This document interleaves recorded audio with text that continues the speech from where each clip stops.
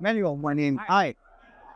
We're just coming out of the uh, Gion, and I'm I'm super stoked. Uh, it's been years that I've been uh, so impressed by what I've announced. And um, what did you take away from it?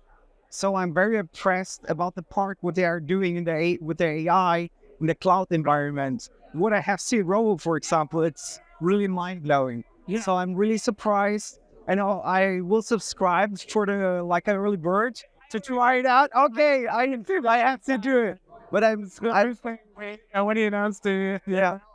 uh, immediately Yeah, I will do it now because it's really mind blowing what they're building into the product and what kind of capability the user can take out of that. So I'm already working with the AI in the cloud environment. It's great. It's saving time. It gives new ideas. And now Rovo, I think it will be really a game changer in that.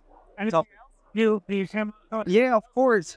Also, so the other announcement, what they are doing, like to interact with the products, like Jira, Confluence, and Loom, it's really great. And also, what Anu mentioned, okay, you don't have to be a meeting on time, so make it asynchronous. So that's also a thing what we have to change about it because we are globally working and we are in different time zones. And to be in a meeting, just for example, today and in Germany, it's completely different and difficult, and that could would change.